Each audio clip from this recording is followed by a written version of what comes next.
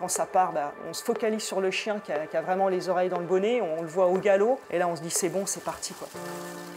Leur relation est unique. Derrière ses huskies, Frédéric voit les arbres défiler à toute vitesse, sans crainte, grâce à une confiance entière et réciproque.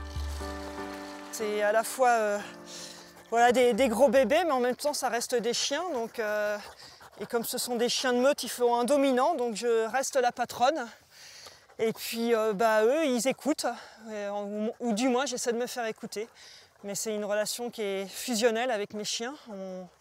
un simple regard voilà, suffit pour se dire euh, on se comprend, et puis on bosse ensemble. Ah, loulou Oui, mon loulou. Cela fait 7 ans que Frédéric est addict au mushing, une discipline tout droit venue de Sibérie et du Canada. Aujourd'hui, elle fait même partie des meilleures de sa catégorie. Elle est devenue championne d'Europe l'an dernier, en Italie. Me monter sur le podium, euh, ouais, c'était vraiment magnifique. Pour moi, ça a été euh, voilà, la, consécration de tous euh, ces investissements euh, ensemble. Et ouais, c'est des larmes sur le. Ouais, des larmes. J'ai encore l'émotion d'ailleurs. T'as vu la chienne comment elle est? Haribo, elle, elle, ne touche plus terre. Cette passion, Frédéric l'a transmise à son fils Timothée, qui la suit dès qu'il peut à l'entraînement. Ce qu'on appelle les oreilles dans le bonnet.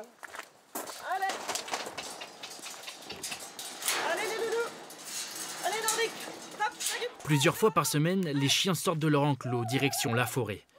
Toute une organisation pour quelques minutes de bonheur seulement. Une fois sur place, impossible pour eux de rester calmes, l'excitation est trop grande.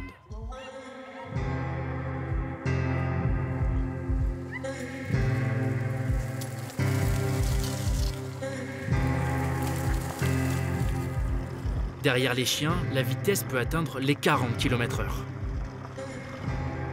Mais pas de quoi impressionner Timothée, 12 ans seulement, qui prend la sécurité très au sérieux. C'est génial, c'est du plaisir, de la glisse, et puis la vitesse, en fait on, on voit même pas, on, on sent même pas la vitesse, c'est que du plaisir. Il n'y a pas de peur? Non, non, non, enfin si, on freine quand même un peu dans les, dans les virages, et puis il faut avoir peur, parce qu'après si on freine pas, on va, dans les virages on va vite... On va vite finir par terre. Un jour, Frédéric voudrait découvrir les grandes plaines de neige de Laponie avec ses chiens, en espérant d'ici là avoir décroché un nouveau titre de championne d'Europe.